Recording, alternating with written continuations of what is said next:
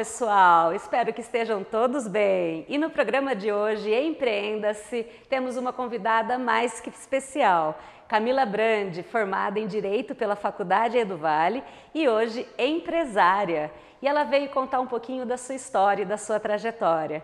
Camila, tudo bem? Tudo ótimo, Fer. Muito obrigada pelo convite.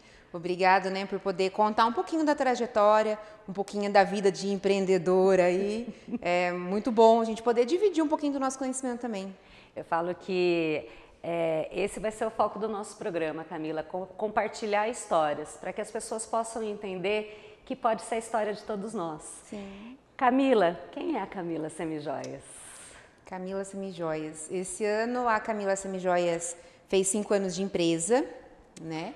É, mês que vem, agora em outubro, nós vamos estar fazendo três anos de loja física na cidade aqui de Avaré.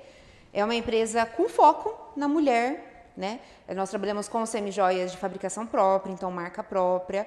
Claro que o foco é na mulher. Também trabalhamos com peça feminina, é masculina, infantil, mas o foco nosso realmente é ativar essa beleza, autoestima, empoderamento. Então, falando de empoderamento, né? Apesar de termos a loja física aqui na cidade de Avaré, um dos meus focos grandes e maciços é o empoderamento. Então a gente trabalha também com é, auxiliando muitas mulheres a empreender com a minha marca.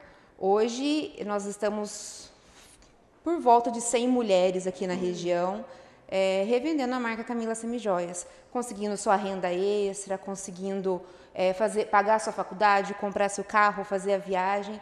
Então acho que o foco maior é empoderar, empoderar as mulheres, né? fazer com que elas saibam é, confiança na capacidade que todas nós temos.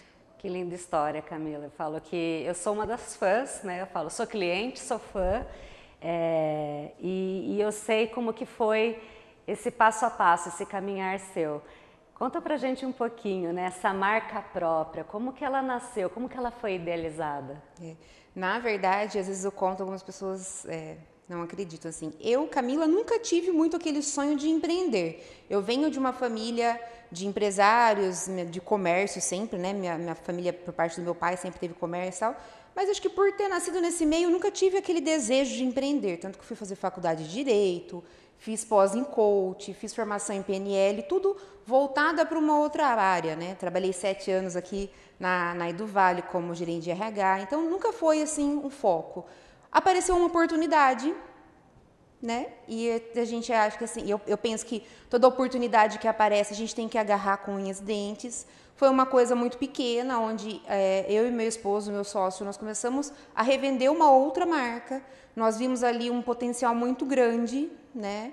É, começamos com pequenas fabricações, é, pequena parte de design, fabricação, parceria com a parte da galvanoplastia, que é o processo de banho. É, e a gente foi melhorando que hoje, né, vai fazer cinco, já fez cinco anos que a gente tem a marca própria, processo de banho próprio, por isso que a gente consegue a alta qualidade das nossas peças. É, todo mês, todo semestre, todo bimestre, a gente sempre pensa em inovação, tendência. Então, assim, empreender é um desafio diário, é uma coisa que você nunca pode parar, sabe? E é isso que acho que motiva muito a gente, assim, porque é, você tem que estar muito antenada com tendência, o que você pode fazer para que as suas empreendedoras também tenham alcance os objetivos dela, que acaba se tornando o objetivo da empresa. Falo, e aí foi indo. É, é, são tantas coisas que a gente precisa ver e enxergar ao mesmo tempo, Sim. né? Nessa trajetória, esses cinco anos. Você teria, assim, dentre os desafios que a Camila Semijoia já teve, qual foi o seu maior desafio? Sei que é difícil a gente elencar, né? É, a gente um não, desafio. É, acho que assim, a gente passou por um momento muito difícil todos, que foi a questão do Covid, né? Porém, é claro que nós também sofremos com a questão do Covid, mas é, por a gente já ter esse atendimento personalizado, esse relacionamento com o cliente, que eu acho que isso é primordial, a gente não pode esquecer de falar nunca, Fer, que é você manter o relacionamento com o seu cliente. Não é uma simples venda né? Não é uma simples pós-venda. Se você não, se eu não tivesse todo esse relacionamento que eu tive com os meus clientes, talvez na pandemia a gente não teria superado o que aconteceu, né? Então, durante a pandemia as lojas estavam fechadas, mas a gente conseguia é, fazer o delivery porque a gente tinha esse controle de, de relacionamento, né? Então, acho que isso, o, o Covid foi um desafio muito grande, é, mas o crescimento também, às vezes, é uma coisa que a gente inova muito, cresce muito a todo momento, mas as, as novidades, os desafios vão aparecendo a cada momento. Então, eu acho que a questão maior é você ter essa flexibilidade de você crescer com o pé no chão, mas sempre almejando mais, porque a gente nunca pode, ah, tá bom desse jeito, vou parar, né? Acho que a gente sempre tem que almejar mais, é, mas com essa, com esse pensamento, vou continuar crescendo com o pé no chão, vou tentar, vou fazer o possível para sempre inovar, vou fazer o possível para crescer mais e levar a Camila Semijoias para outras cidades onde eu não atendo, para levar renda para outras famílias. Eu acho que são os pontos principais, assim. E nós estávamos fazendo o cálculo do mês passado, foi 95 mulheres é, adquirindo renda né, familiar, muitas delas às vezes nem tendo renda, não trabalhando. Então isso para mim é uma felicidade muito grande, saber que indiretamente a gente consegue auxiliar em 95 famílias hoje. Poxa, nem me falha, eu falo, isso é, é além né, da, da, da lucratividade do negócio. Sim, sim. E a Camila, tem uma dica de Safira para quem está nos vendo hoje? Dica de Safira, eu acho que você tem que ter o seu objetivo muito nítido na sua mente sempre.